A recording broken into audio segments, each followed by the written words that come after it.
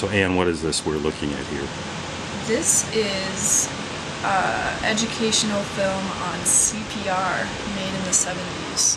CFA is a regional film archive that has been storing films that are from the Midwest and were primarily made in the uh, 20th century. That's why we're doing this is we want to preserve the, the media and the history and culture that is goes along with the media. Um, the idea is to um, be able to preserve it for future generations. Something's got to change around here. I think this will get a rise out of him. Come on, let's stand him up. He should come to about here. It's our 10th year. We've grown incredibly. We've become really big.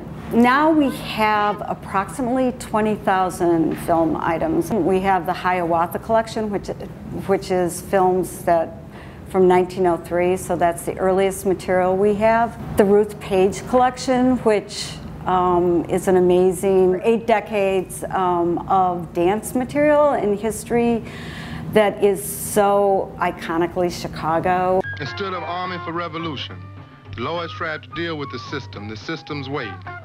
In September of 1967, they became the Conservative Vice Lords Incorporated. DeWitt Beall's Lord thing probably would have um, disappeared if we hadn't found the elements to that and gotten them preserved. This is a before. This is how things come in here.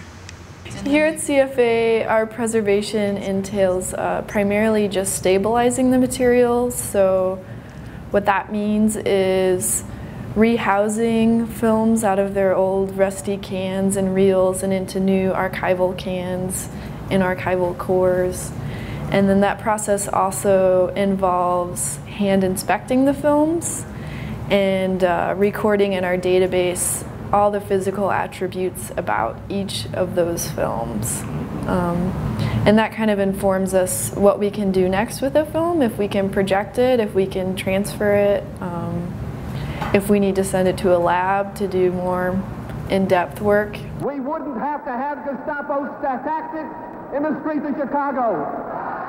And then the restoration work, which for the most part means film to film, uh, restoration, and those are done at labs. And we primarily work with Colorlab out in Maryland. The Hiawatha one was super complicated. Was that nitrate? That was nitrate. It was, at the time, there was no standardization for where the perforations were in the film, so you're also dealing with that. Film is, is hugely um, hugely strong. I mean, it's got a really long shelf life, much longer than videotape.